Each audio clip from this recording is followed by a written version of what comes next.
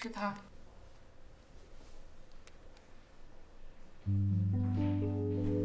这这谁呀？他呀。哎，我我怎么看着像护士长家他们家那口子？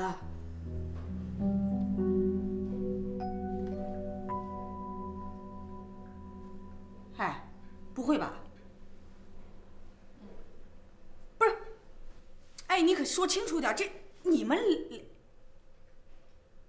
真的？哎呀，真的！嘿，弄了半天，你是一小三儿啊你！你怎么说话的呢？我们是真心相爱，真心在一起的。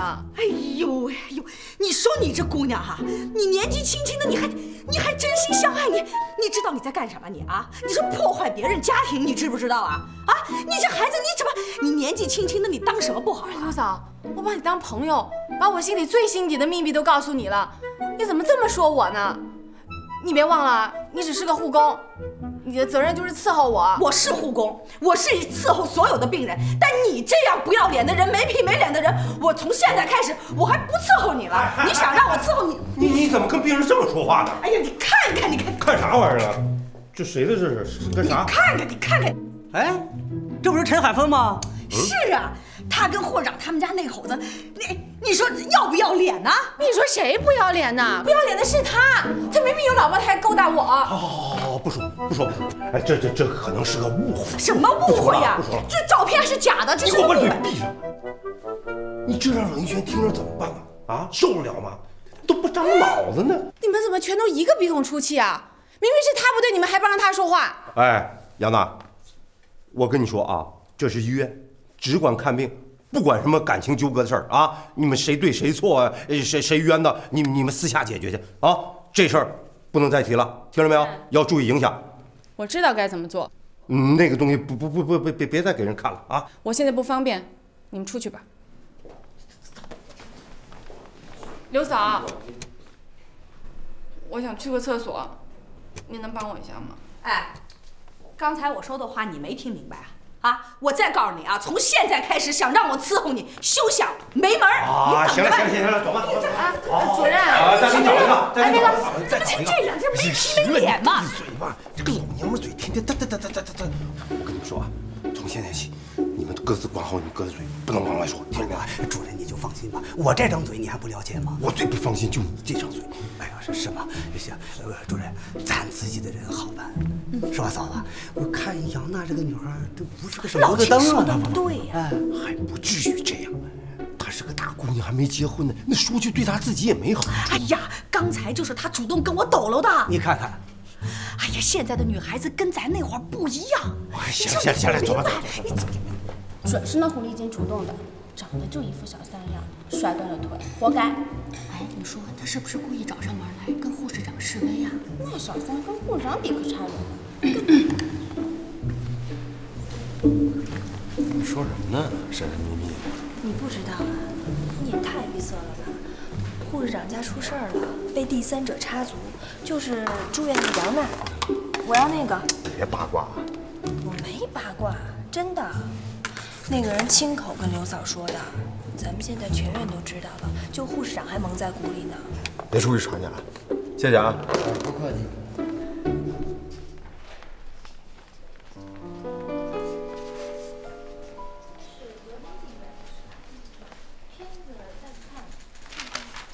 护士长，你们先去吧。什么事儿？我给你反映个事儿吧。这个刘嫂护工她太不敬业了，不好好工作，她还骂人。你说她现在撂挑子了，这人你给我介绍的，怎么办吧？刘嫂骂人不会吧？你说具体点。本来我不想做这个恶人告这个状，你说我这行动也不方便，她扔下我不管了。这具体为什么？你去问他吧。如果刘嫂真骂你了，我替她向你赔礼道歉。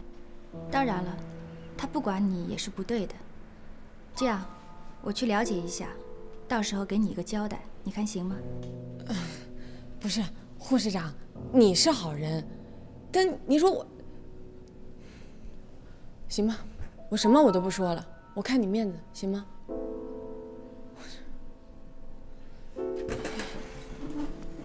帮你。你是要回平安？部长。哦，对了，刘嫂，呃，我想问你件事儿。那个杨娜，她今天跟我说，你们之间好像有点不太愉快，有什么不愉快啊？哎呀妈呀，这个不要脸的啊！他还好意思说他跟我之间有矛盾？我跟他之间有什么矛盾啊？我们啥矛盾都没有。我跟他吵架是因为你，因为我啊，这这是为什么呀？怎么了？不是，我我我我们家老刘跟我说让我别告诉你，我还不是给你添乱了啊？你你就当我什么话都没说，我没说啊，我没说。哎，刘嫂，什么意思啊？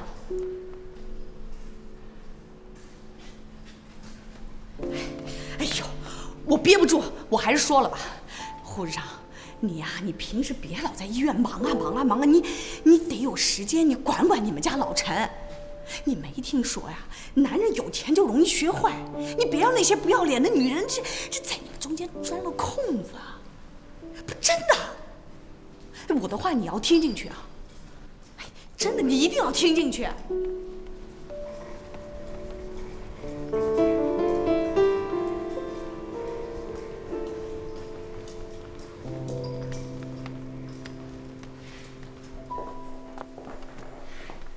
现在这女孩啊，胆儿可真够大的，什么事都做得出来。知道为什么这样？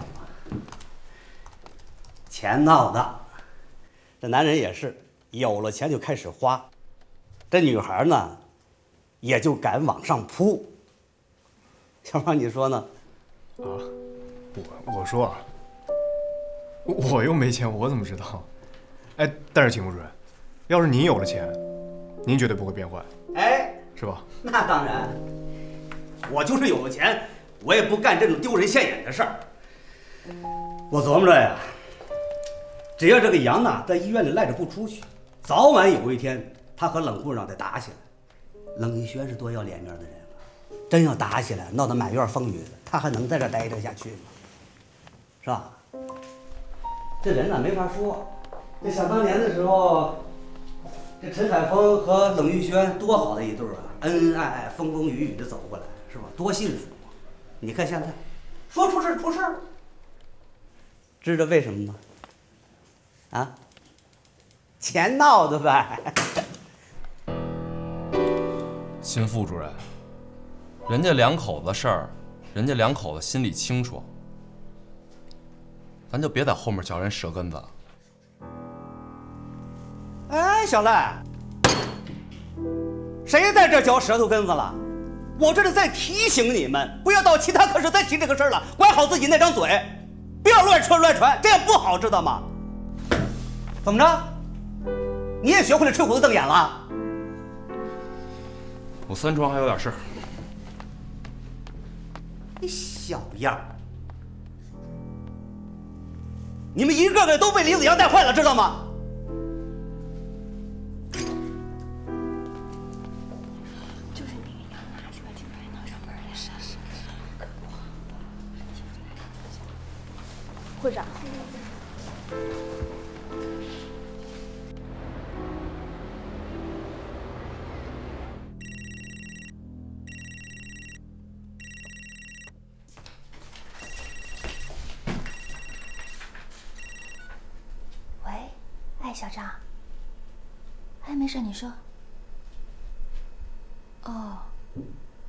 那保险交了是吧？谢谢，谢谢。啊，陈总已经睡了，对。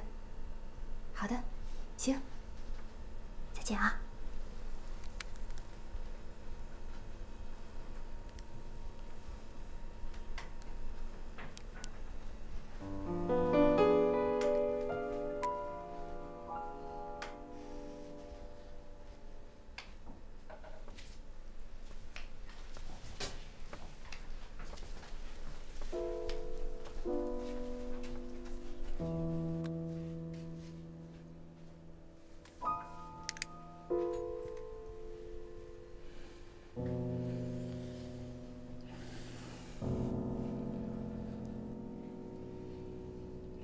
什么？你瞪着眼睛？哎呦，你齁吓人的！大半夜不睡觉，干嘛你？能给我解释一下这个吗？没事看我手机干嘛？没事，杨娜给你发这个短信干嘛？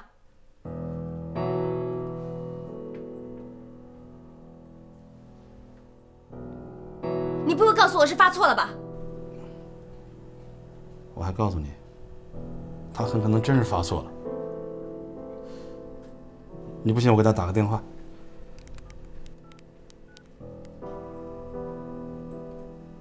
杨娜，你给谁发信息发错，发到我手机上了？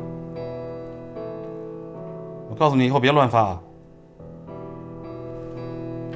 你看，发，确确实发发错了。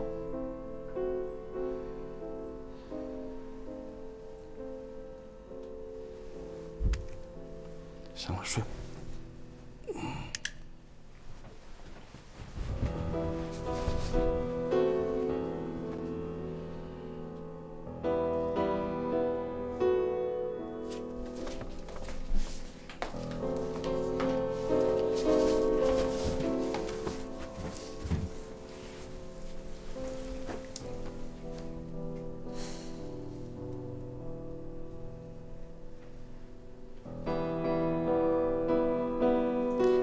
告诉你，最好别胡来啊！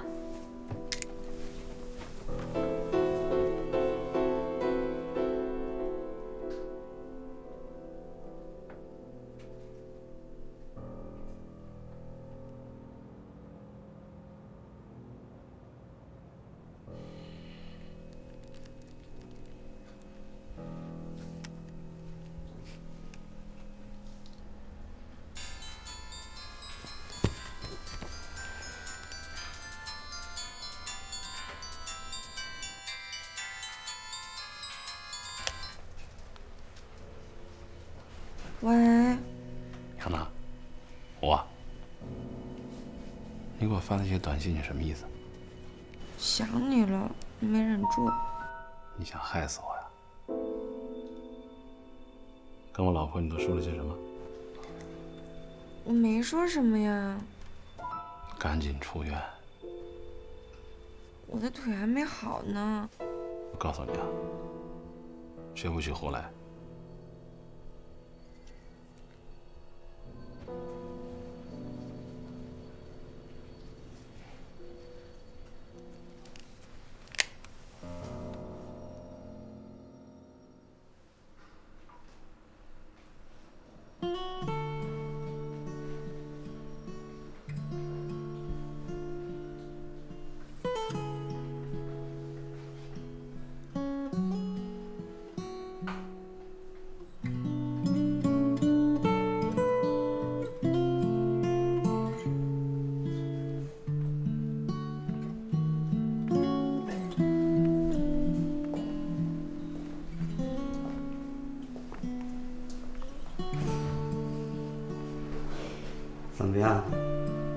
你现在难受了吧？我说过，你斗不过林子阳。这是好事儿啊！医院建好了，咱们也有好处。行了，别说大话了。医院发展好了是好事儿，可现在是他好了，咱们以后怎么办呢？该咋办咋办呗。他干他的，咱干咱的。最坏了，把病房分成两部分，各干各的呗。要是人手不够，就共用一个护士单元。这是院长的意思，还是政委的意思？这是我的意思。唉，老齐，别光发牢骚，发牢骚没用。那咱落伍了就是落伍了，得敢于承认，怕啥呀？那咱赶上去不就完了吗？咱们呐，也得适应部队现代化的要求。行了，行了，行了，你跟我说话还说那冠冕堂皇的东西干嘛？哎，那可不是啊，我跟你说的都是心里话。你想想，哎，你不去适应部队现代化要求，那还让部队适应咱呢？可能吗？啊，道理我懂啊，可是我这心里就是过不去。我跟你说吧，他林子阳凭什么一来什么都有了？凭什么呀？就凭他适应部队现代化要求，咱们呐也得现代化了。可咱都什么岁数了，再学习来得及吗？哼，就咱这个岁数才得学习新东西呢。咱不管学多学少，咱努力过了，问心无愧。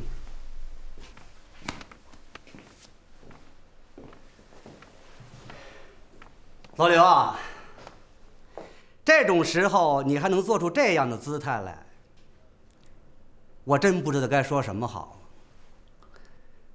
但我佩服你，你呀，没白穿这身军装。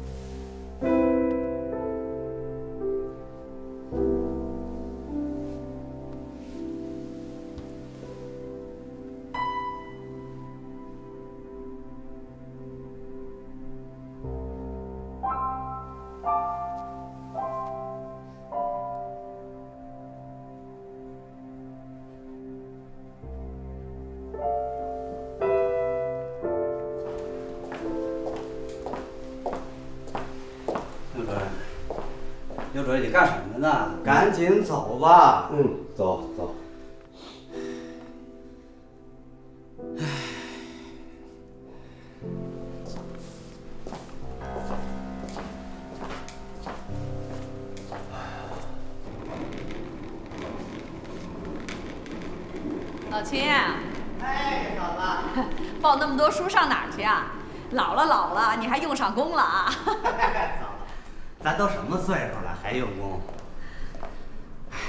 我调门诊去了。啊，轮着你上门诊了？不是，外医科现在改成外科创伤中心了，我被调出来了，调到门诊部出门诊，工作待定。那我们家老刘呢？和我一样啊。嘿，这个老刘，怎么没听他跟我说呢？谁呀？还谁这么欺负人呢？凭什么呀？凭什么？怎么又欺负我们？嫂子，嫂子，你别急，你别急，你可千万别找院长去，这样你给刘主任帮倒忙。不行，我就得找他去。刘嫂，别着急啊，我找。刘嫂，你可别着急啊。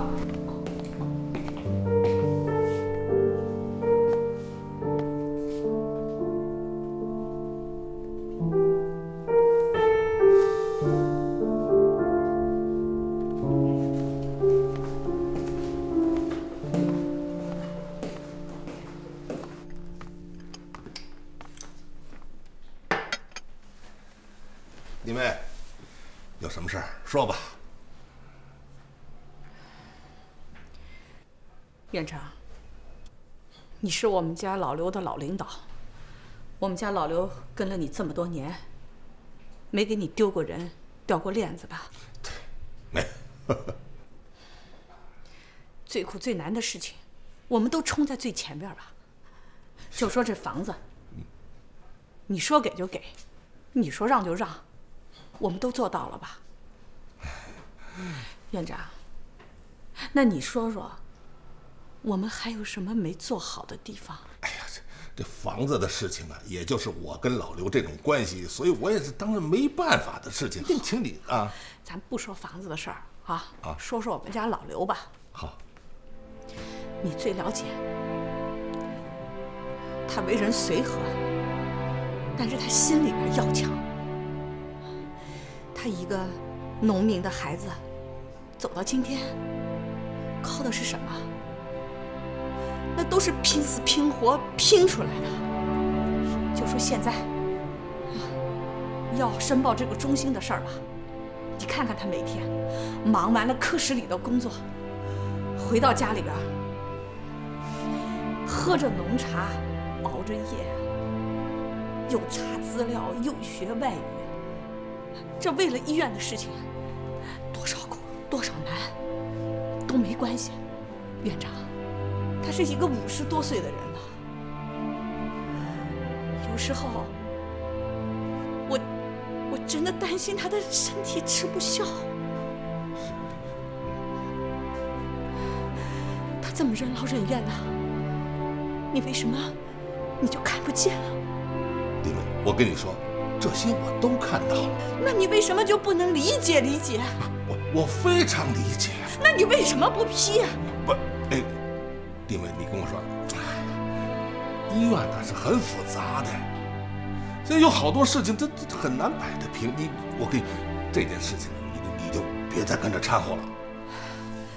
好，我我我是不应该掺和，我也不懂，但是我知道，一个人要讲感情，讲良心，啊，我们不能做那那种喜新厌旧的势利小人，对吧？院长，这样会寒了大家的心的。哎弟妹，你听我跟你说，你我院长，你赶紧恢复我们家老刘的工作吧，要不然这个优秀军嫂我也不当了。每天都来跟你闹。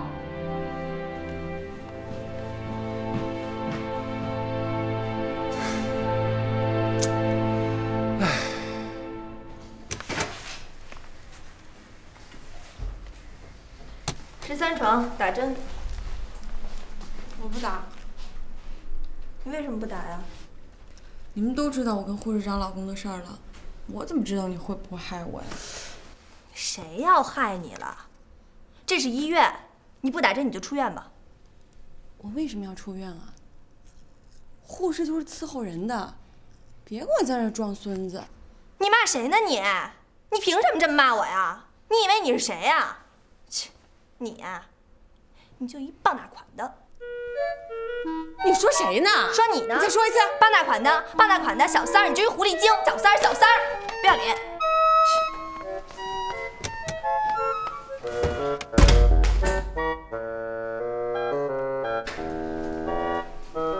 部长，我不干了。我给他打点滴，哎，他说我非要害他，有他这样的吗？哎，还骂我说我什么？我是伺候人的，谁伺候他了？切你瞧瞧他，他年纪轻轻的就干这种破事儿，他就一臭不要脸的，臭不要脸。护士长，我要是你啊，我就拿针扎死他。讨厌，我不干了。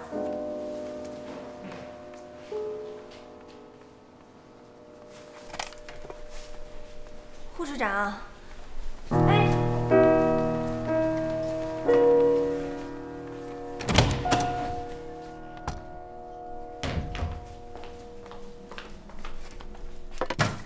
打针了，我不打。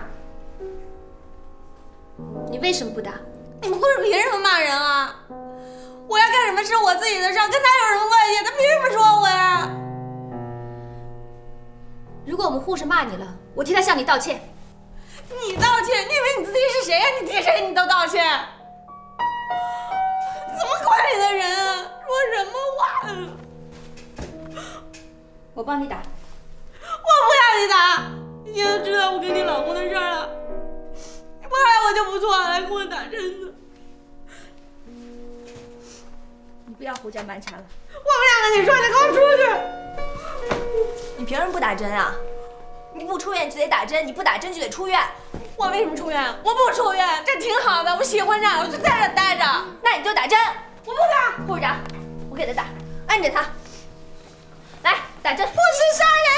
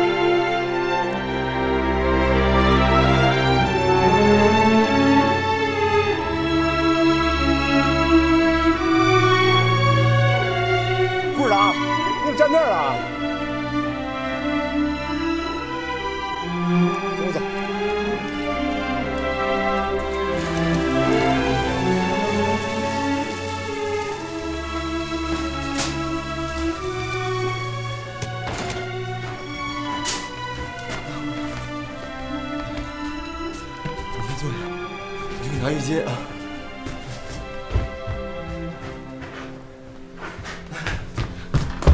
你擦擦。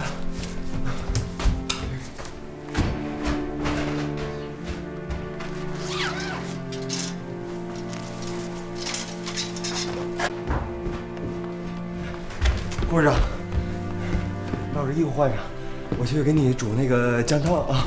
你先换吧，我看不见啊。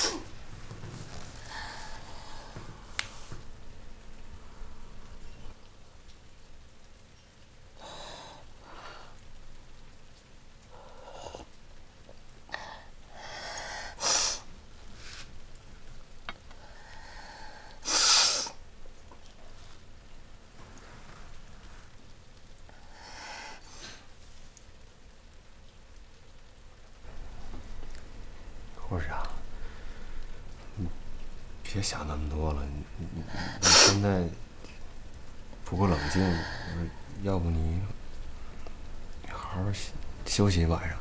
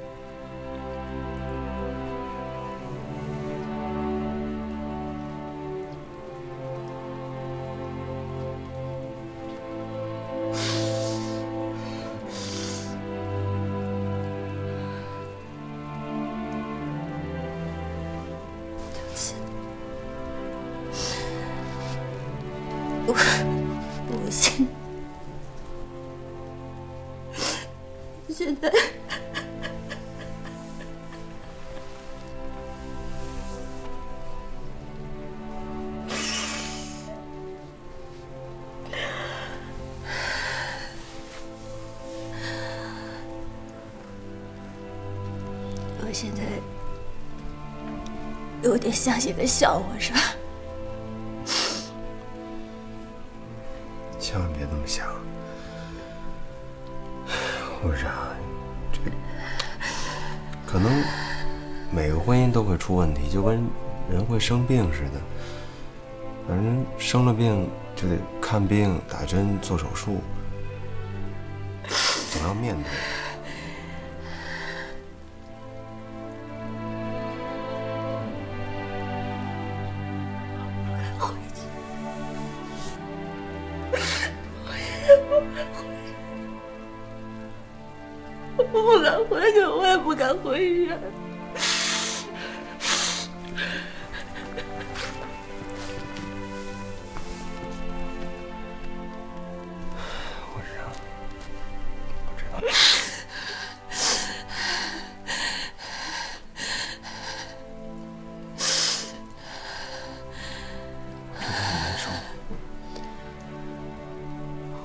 出来可能会好受一点儿。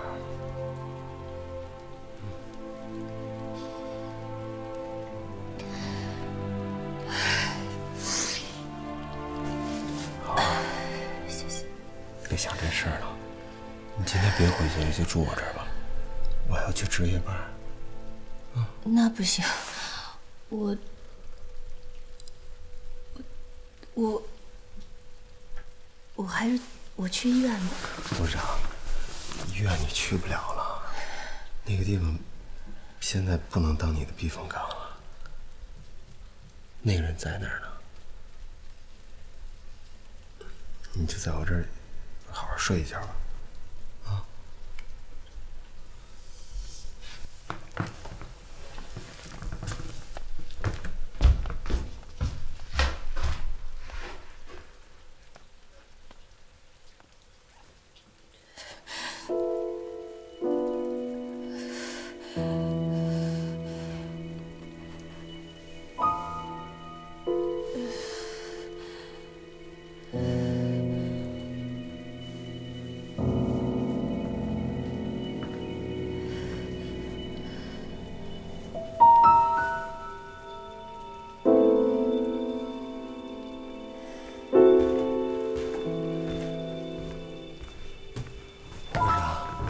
那我先去医院。你怎么了？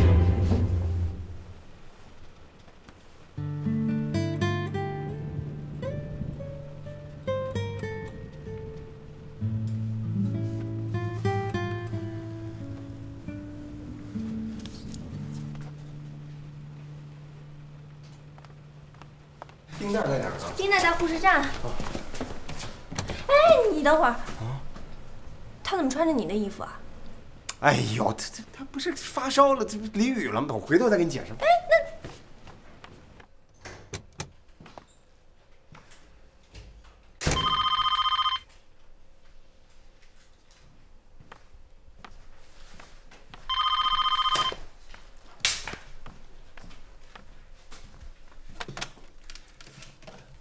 喂，喂，陈总，我是于甜甜，护士长病了，在医院呢。病了，厉害不厉害？你先过来再说吧。喂，喂，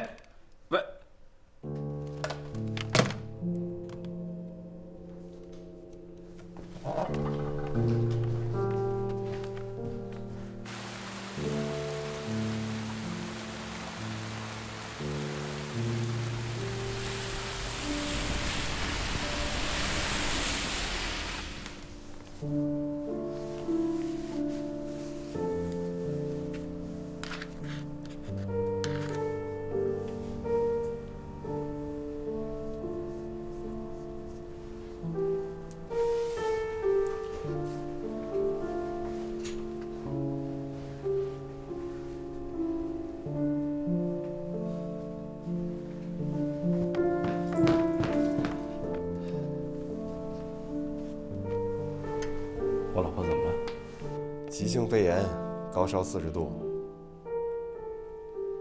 怎么你在这儿？你们医院就没有其他医生了？你出来一下，我有话跟你说。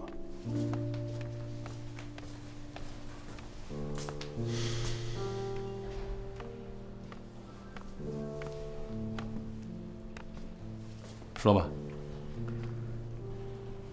今天那个杨娜把我们这儿搅了个天翻地覆，现在医院是个人就知道你跟他是什么关系，该怎么做，你应该知道吧？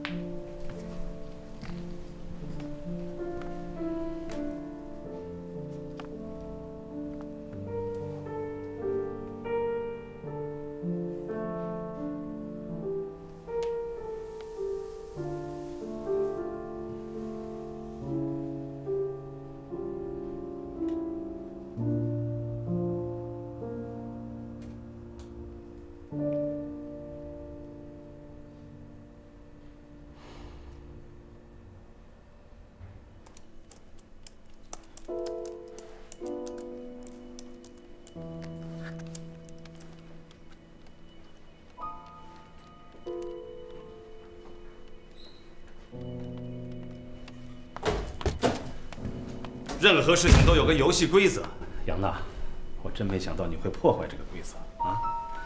你闹这么大的风波，能得到什么呢？我跟你说，我跟我老婆不可能分开。那我呢？你把我当什么？玩物吗？我已经说过多少遍了，这个事情我对你深表内疚。你内疚的是对不起你老婆，不是我。够狠的，说把我开了就开了。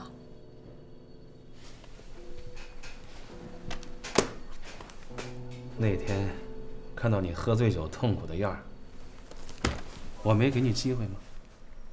我不是让你负责那两栋楼的销售吗？所以你就去让我做售楼小姐是吗？你也做得出来的呢？你以为售楼小姐那么好当？得积累经验、熟悉业务，才能胜任。我告诉你，我原来计划好了，三个月之后让你升任销售经理。可你呢？自己把自己逼到了绝路，把我推到了这么尴尬的境地，真是想不明白啊！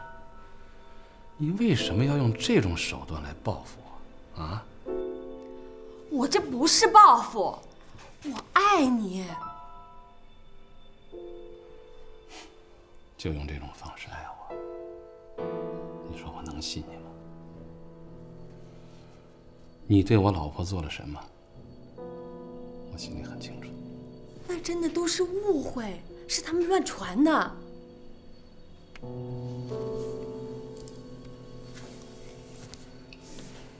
你听我说，我最憎恨女人跟我玩心眼儿。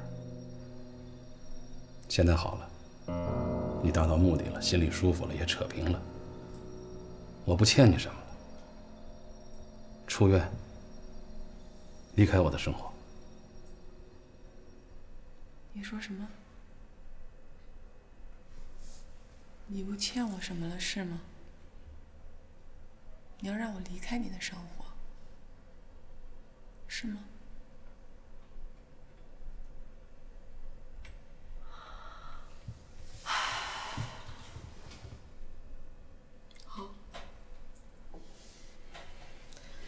陈总啊，蓝天医院也不是你开的吧？我们俩没什么关系，我愿住多久住多久，跟你无关。我问你，你到底想干什么？我要赔偿一百万。好大的口气！一百万，你们家要生活有困难，我可以帮你。想用这种讹诈的方式要钱，三个字儿，不可能。陈总，算我借的，行吗？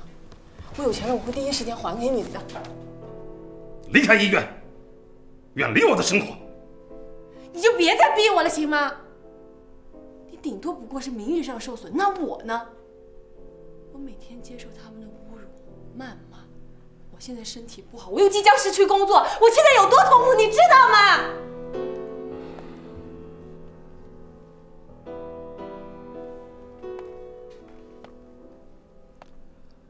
我警告你，杨娜，你自己做了什么事儿，你心里非常清楚。别再惹我了，否则后果自负。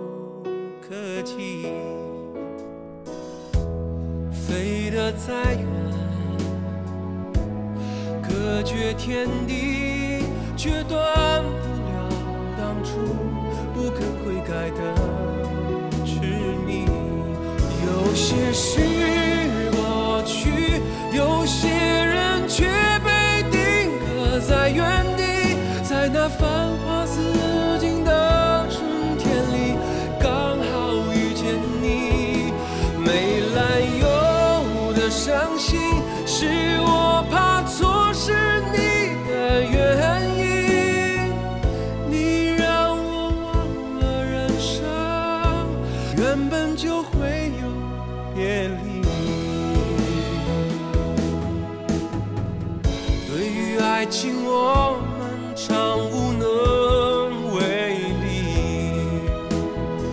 一瞬间的